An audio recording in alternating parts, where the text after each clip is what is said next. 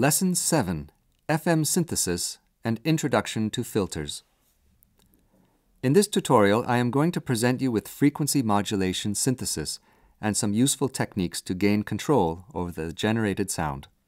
Frequency modulation, or FM for short, is a change in the frequency of one signal caused by modulating it with another signal. Frequency modulation, together with amplitude modulation and additive synthesis, is among the easiest and best sounding algorithms to implement due to the capability of generating complex waveforms. In the audio field, complex waveforms are perceived as more rich and defined in terms of sound due to their high number of harmonics. In the patch we are going to implement, the frequency of a sinusoidal carrier wave is varied continuously with the output of a sinusoidal modulating oscillator. The modulator is then added to the constant base frequency of the carrier. What does that mean? Let's look at it together by opening a brand new patch. We know that we need two oscillators, so let's create them.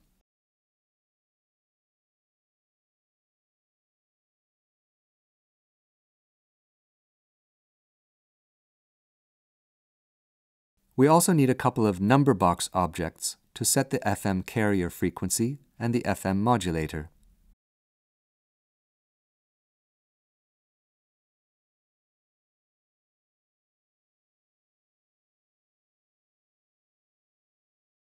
Let's also use some comments to remind us what we are doing.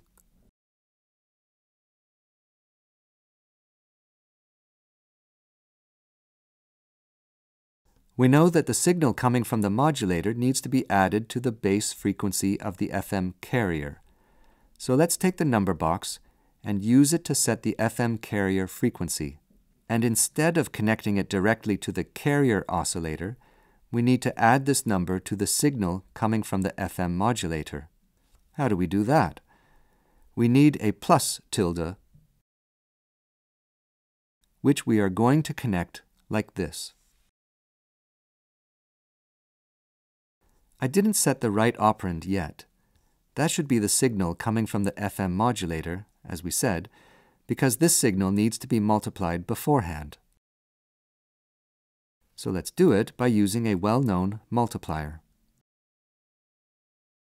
Why are we doing this?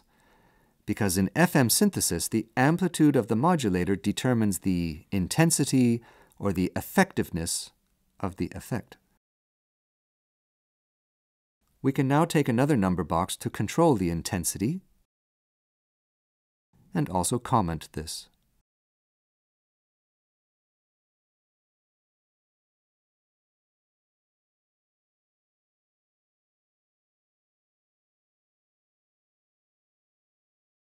Great, this is the algorithm that implements FM, but we cannot play with it yet, because we need to build the volume control and the exit path to the sound card, so let's get it done. By now, you are quite an expert. Instead of creating this from scratch, let's copy some objects from the patch we developed to implement the additive synthesis. So I select the slider, the line and its message, the multiplier, the DAC, and I copy and paste them into the new patch.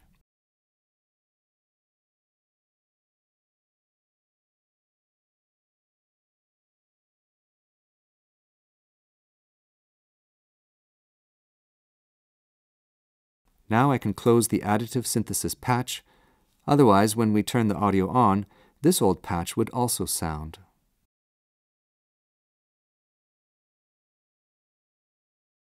Let's connect the volume control like this. And now we can listen to how FM sounds.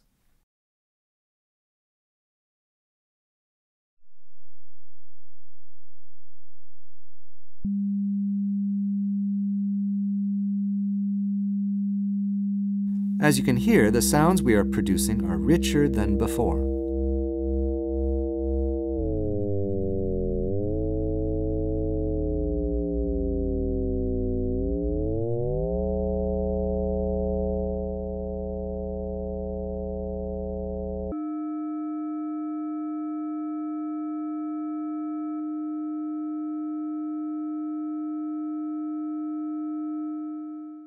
Let's move one step further we could say that the sound we get from this synthesis technique is so rich that we might want to use only a part of it. What am I talking about? I am talking about filtering. What does it mean to filter? Well, filtering means that at the moment we have a signal rich with different frequencies, and we want to filter some of them, but how? Using a device that passes frequencies within a certain range and attenuates, in terms of volume, frequencies that are outside of that range. An object capable of this is VCF tilde.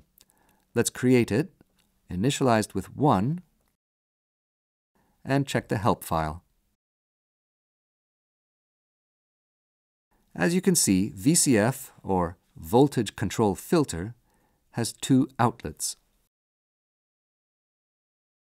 The rightmost outlet passes all the frequencies below a certain threshold, which is set by the central inlet.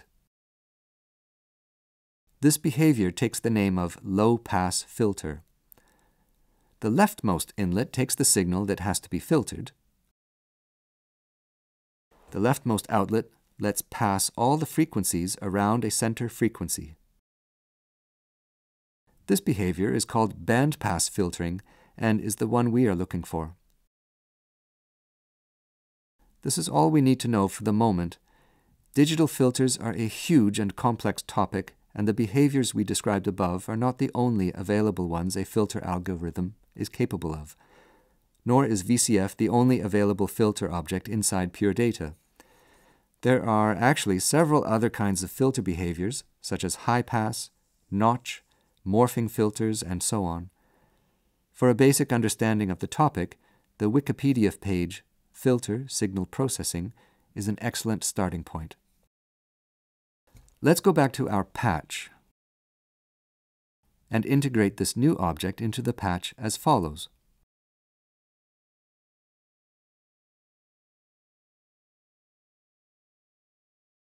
We use the first outlet because we want to use it as a bandpass filter. Why do we want to use a bandpass filter? Because since the incoming signal is so rich, we would like to highlight different frequency ranges each time we change the center frequency. We still cannot hear anything because we need to set the center frequency. In order to do this, it wouldn't be enough to use a number box, as we've done up to now, because the center frequency needs to come from a signal, not a number. But how can we transform a number into a signal? We need to use this object, sig tilde, and connect it like this. Now the number in the number box is transformed into a signal that oscillates at this rate in the range from minus 1 to plus 1. We are now ready to play with it.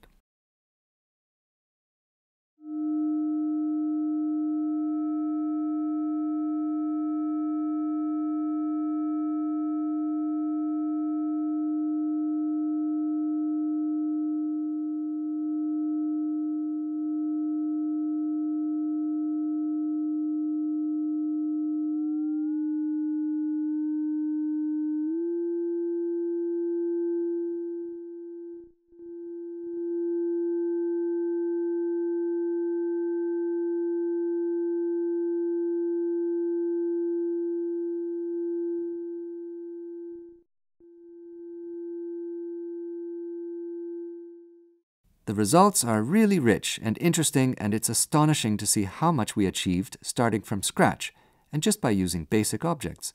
You should be proud of yourself. With this tutorial ends the first part of the series. From the next tutorial onward, we will see how we can control sound generation using data coming from external sensors, such as those available in smart devices. The idea is to use the synthesis techniques we implemented so far and control them using a smart device instead of mouse and keyboard, with the goal of coupling body movements and control over the synthesis process. Don't be afraid, it will be easier than you might be thinking.